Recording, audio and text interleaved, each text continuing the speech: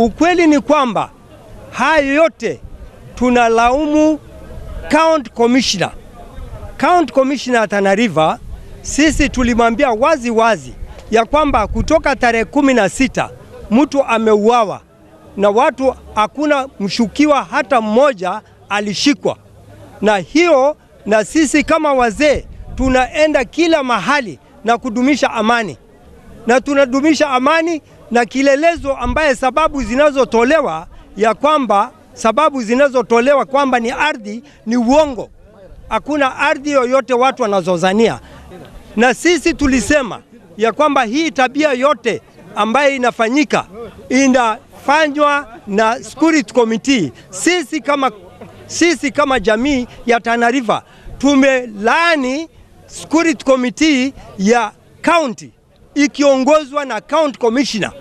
County commissioner Tana River anazembea kazi ya security, na sisi, mimi kama Garacha nilimwambia wazi wazi, wale watu walikuwa wakichochea wakisema kwamba itatokea masaka, na amejua bwana Bashiri masaka kwamba watu watauawa. Kwa nini hao watu wanaochochea hawajashikwa?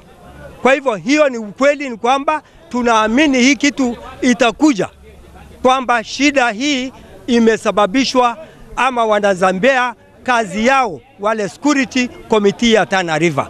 Tunaomba serikali, viongozi ama mtu yote mzee, iwe ni sheke, iwe ni nani ambaye atajaribu kuchochea wananchi, wajaribu kuchukuliwa hatua ambayo inastahili. Sa serikali ijitokeze. Haiwezi kuwa kila kuchapo unasikia watu wanapigwa risasi, watu wanauawa. Hii ni jambo la kushangaza. Je, hizi bunduki zimehalalishwa ama vipi?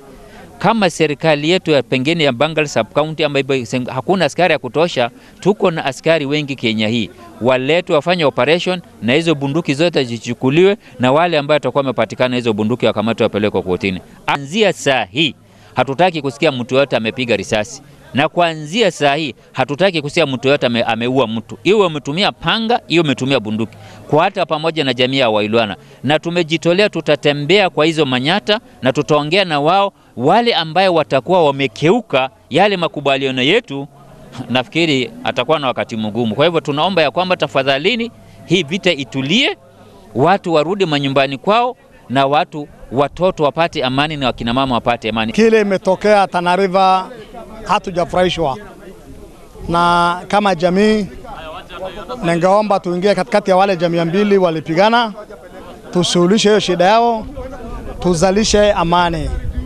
Tauni yetu ya Madogo, tauni yetu ya Madogo ni muhimu tuchunge town, kwa sababu sasa ni wakati ya shule. Tunataka watoto wetu wasome na amani, tunataka watoto wasome na wafanye mitihani yao bila shida yoyote. Kwa hivyo ningeomba wananchi, usalama iko kwa mkono wa wananchi. Kwa hivyo wananchi, tafadhalini sana, ningeomba usalama iko kwa mkono wenu. Ningeomba tafadhalini sana wananchi wakatae, watu wasilete shida.